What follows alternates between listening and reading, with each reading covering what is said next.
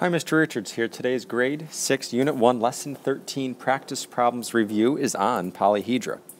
And in number 1, we're asked to select all polyhedra. Well, A is polyhedra, D is polyhedra, and this crazy looking shape B is a polyhedra as well. So we have A, B, and D. E is not because it's a sphere and has the circle, um, no line segments there. And then C is not, even though it's a cone, you have that circle base, and so it's not technically polyhedra. Question two. Is this polyhedra a prism, a pyramid, or neither? And explain how you know. Well, it is a prism. You have two bases, one and two.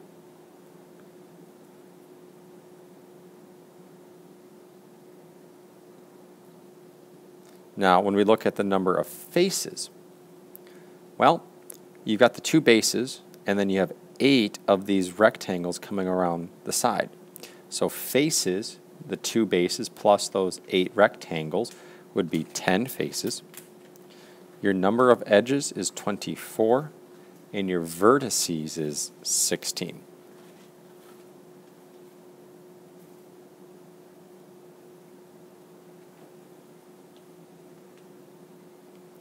In question three, Tyler said this net cannot be a net for a square prism because not all the faces are squares. Do you agree or disagree with Tyler? Explain your reasoning. And I slipped in disagree there because, well, I disagree. When you look at these bases here, the two squares, you actually have two square bases. And since we name our prisms based on the shape of the base, this can be folded into a, a square prism.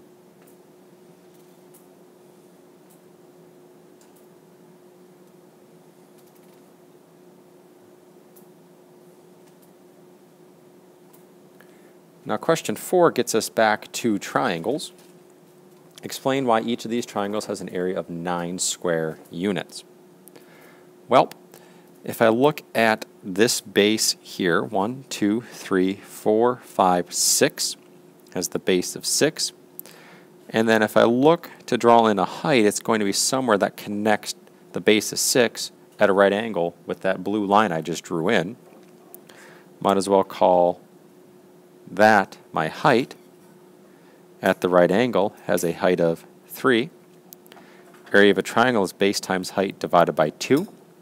So 6 times 3 divided by 2 is 18 divided by 2, which is 9 square units. That's B. Or I'm sorry, A. What about B? 1, 2, 3, 4, 5, 6 units for the base, and once again, if I look for my height here,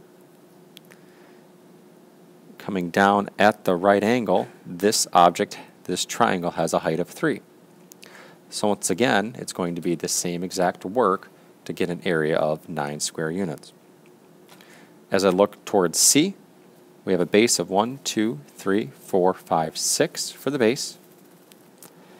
When I look to sketch in a height, it's going to be somewhere along that yellow line. And that height is going to once again be 3 units. So that too has a base of 6, a height of 3, which will result in an area for the triangle of 9 square units. As we go to question 5, a parallelogram has a base of 12 meters and a height of 1.5 meters. What is its area? Well, area formula for a parallelogram is area equals base times height. So a base of 12 and a height of 1.5 gets us an area of 18 square meters. A triangle has a base of 16 inches and a height of 1 8 inch. What is its area? Well, area formula for a triangle's area equals base times height divided by 2. And so if we have a base of 16, a height of 1 eighth. We'll divide the whole thing by 2. Now 16 times 1 eighth is 2. And then divide by 2 and you get 1 square inch. Looking at C, a parallelogram has an area of 28 feet and a height of 4 feet. What is its base? Once again, the area formula for a parallelogram is area equals base times height. We're given the area of 28 is going to equal, I don't know the base, but I do know the height is 4. A couple of different ways to go about this, but you can think what times 4 is 28, and that is 7.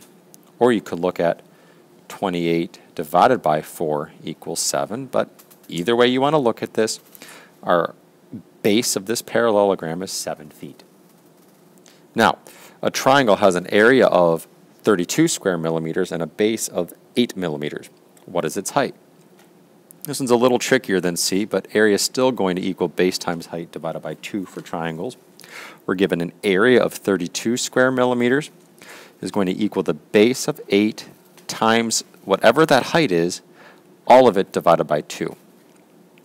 Well, if I look at this question here, this up top has to be equal to 64. Whatever it is has to be equal to 64. And why do I say that? Well, our answer is going to be 32. And the only way to get there is to take 64 and divide it by 2 to get to 32. And so the top part of this question needs to be, again, 64. So 8 times what is equal to 64? 8. And so our solution here is 8 millimeters. In question 6, our last question here, find the area of the shaded region. Show or explain your reasoning. Well, I'm first going to find the area of this gigantic triangle here. Now this length here is 6 plus 2 plus 6, which gets me 14 centimeters for the base. The height all the way, I've got 2 here and 3 there, so 5 centimeters there. So when I look for the area of that gigantic triangle, it's base times height divided by 2 again. Our base is 14, our height is 5, and we'll divide that by 2. 14 times 5 is 70. Divide that by 2 and we get 35 square centimeters. Now, what about this square over here that we need to subtract out? The area for a square, you can simplify it to length times width. It's 2 times 2, which gets you 4. And so what's the area of this just the blue region? you got to subtract out that 4. 35 minus 4 is going to get you a final answer of 34 centimeters squared. And that is it for this grade 6 practice problems review. Good luck.